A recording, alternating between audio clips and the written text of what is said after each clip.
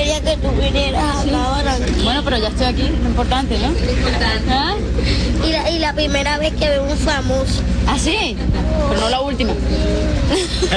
Con los planos sobre la mesa y una maqueta, Shakira observó cómo va tomando forma su sueño de darle un gran colegio a 1.800 niños. Un centro de, de puertas abiertas a toda la comunidad, con canchas polideportivas que toda la comunidad va a poder usar, eh, salones vocacionales para preparar a los padres, para preparar a los adolescentes. Entonces, pues sí, me tiene muy, muy emocionada. Hasta su novio, Antonio de la Rúa, quedó impresionado con el ritmo de la obra. Espectacular, contentos. Muy bueno, muy bien, ¿eh? Sí, muy bien, muy bien.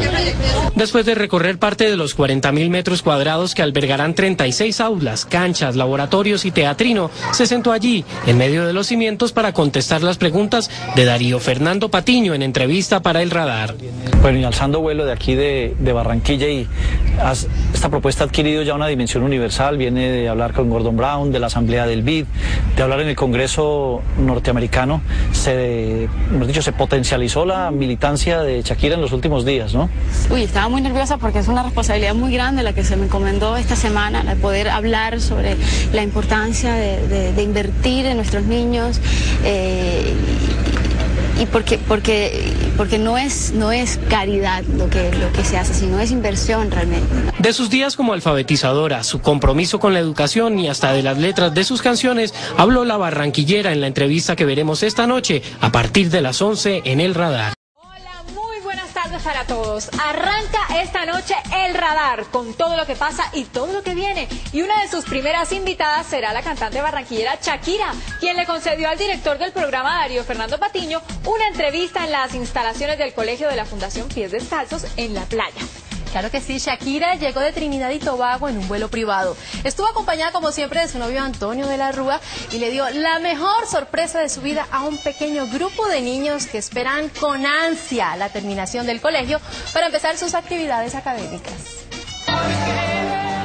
Esperaban la visita de un patrocinador desconocido del colegio, pero cuando vieron los rizos dorados de la cantante, su emoción fue inmensa.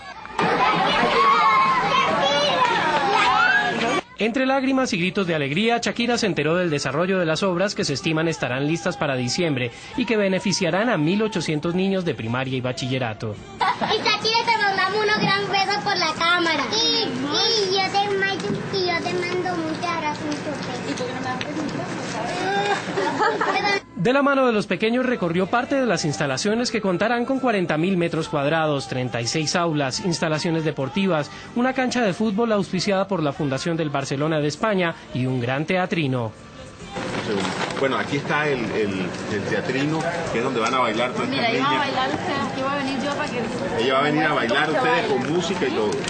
Y allí, en medio de la construcción, le contó al radar cómo empieza a consolidarse su sueño de darle educación a los niños colombianos.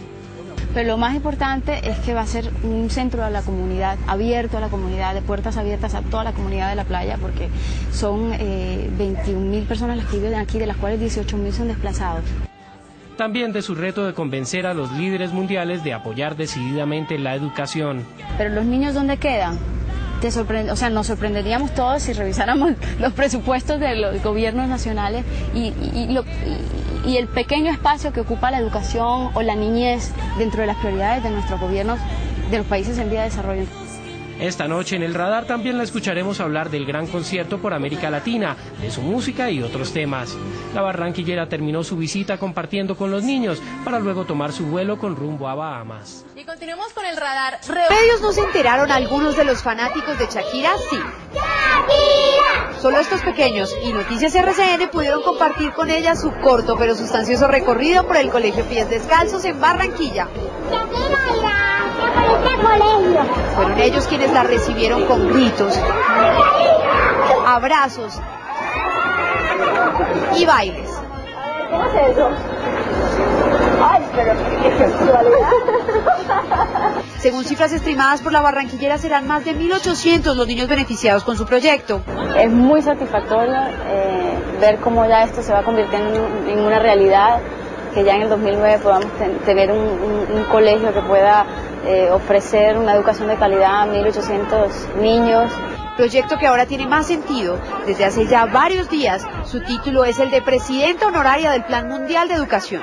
No sabe lo nerviosa que estuve esa semana, porque precisamente por el tamaño de la responsabilidad, eh, tener que, hablar con, algunos de los líderes del mundo en este tema, eh, gente que ya aboga y, lucha por, por, la educación universal. Entrar al Congreso de Estados Unidos no es nada fácil. ¿Cómo se sentía Shakira allá?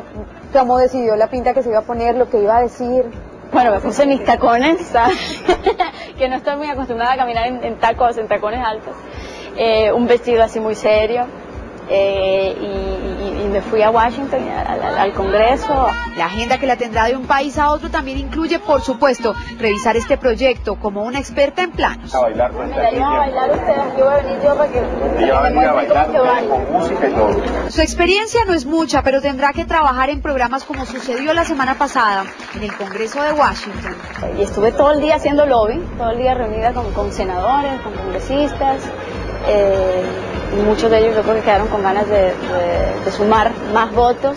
El mayor apoyo lo recibe, por supuesto, del hombre más escurridizo para los medios, pero al mismo tiempo el que más está cerca de Shakira. Antonio de la Rúa habla con propiedad de esta construcción.